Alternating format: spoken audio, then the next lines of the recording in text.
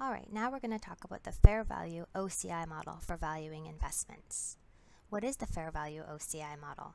Well, the fair value OCI model is where investments are recorded on our statement of financial position at fair value. At each reporting date, we're going to mark these investments to fair value. So the most important thing is that these investments are at fair value on our statement of financial position. Now, what happens to the changes in the value of the investments? If the investments go up from period to period or down from period to period, well, the unrealized gains and losses are going to be recognized in OCI or other comprehensive income.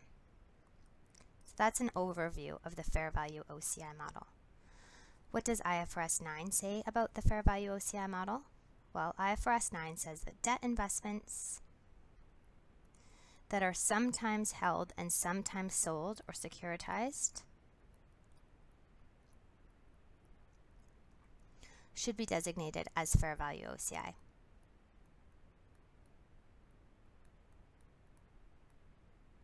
And equity investments can also be recorded as fair value OCI through one irrevocable election. So that's what public companies need to abide by. What about private companies in Canada that are reporting under ASPE? Well, ASPE doesn't recognize the concept of OCI, so Canadian private companies reporting under ASPE cannot use this model for valuing their investments. It's not recognized by ASPE. So fair value OCI is only used by companies that are reporting under IFRS. There's two unique things about the fair value OCI model that are important to remember. These are things that do not occur with any of the other investment valuation models. They're unique to the fair value OCI model. The first thing is that unrealized and realized gains and losses are treated differently.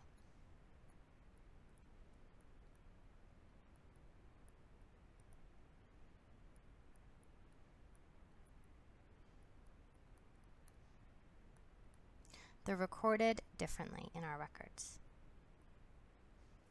So, what is an unrealized versus a realized gain or loss?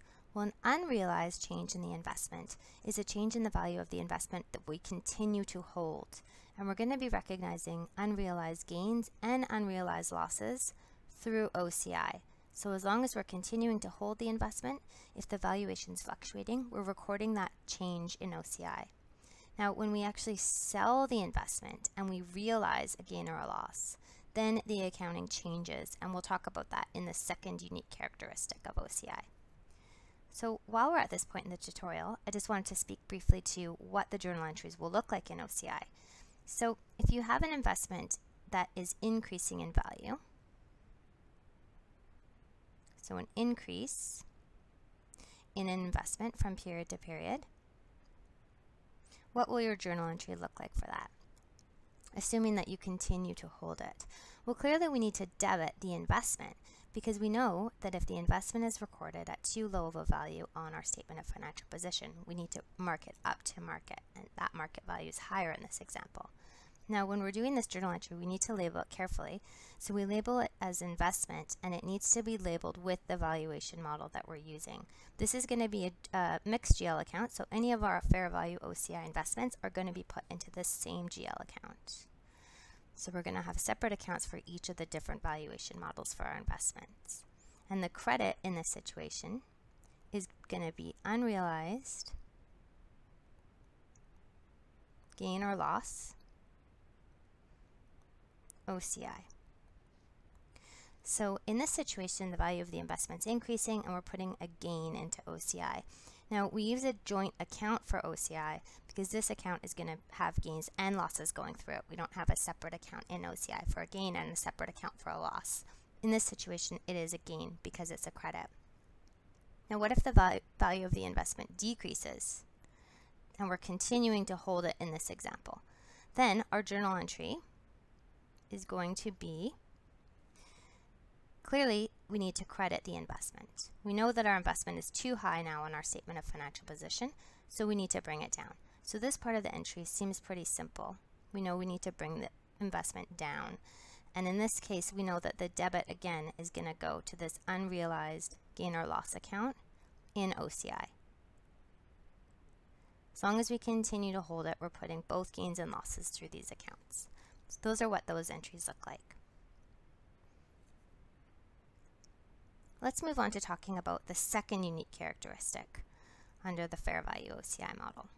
And the second unique characteristic is the fact that when an investment is sold, when a fair value OCI investment is sold, the cumulative unrealized gains and losses, this is really important that it's the cumulative amount. So the cumulative unrealized gains and losses that went through OCI need to be reclassified out.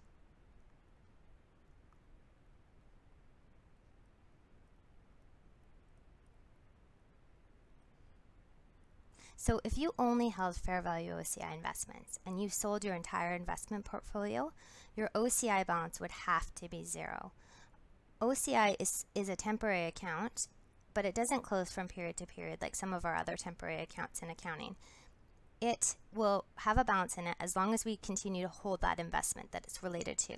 As soon as that investment is sold, the entire amount that we ever put into OCI related to that particular security has to come out and be reclassified. So the next question is, well, if it has to come out, where does it go? And this brings us to this important concept of recycling. And this is also a unique concept to the fair value OCI model. So if the company follows recycling, that means that the unrealized gains and losses, unrealized gains and losses from OCI are going to be recognized on our income statement or statement of comprehensive income. So the concept of recycling, think of it this way. We already recognize the unrealized gains and losses in OCI, and now we're going to recognize them again in the income statement. Hence the concept of recycling. We're recognizing it again. If it's no recycling, that means that our unrealized gains and losses are going to skip the income statement and they're going to go straight to retained earnings. So normally your income statement would close to retained earnings at the end of each reporting period. But um, in this case, we're not going to recognize the unrealized gains and losses in the income statement. We're going to go straight into retained earnings. And the accounting standards specify which uh, securities have to follow recycling and no recycling. For instance, IFRS 9 requires debt securities not have recycling of unrealized gains and losses. Or I'm sorry, IFRS 9 requires recycling of unrealized gains and losses on debt securities, but not on equity securities. And the last thing I want to say before we move on to the next tutorial is in relation to transaction costs. So if we're incurring commissions or different costs in terms of buying or selling these securities, what happens to them? And transaction costs in terms of buying the securities anyways, selling in, uh, costs in terms of selling the securities would be net against our proceeds. But the transaction costs in terms of buying the securities, we capitalize transaction costs under the fair value OCI model when we purchase the securities. Check out our next tutorial as we walk through an example of how to record a fair value OCI investment.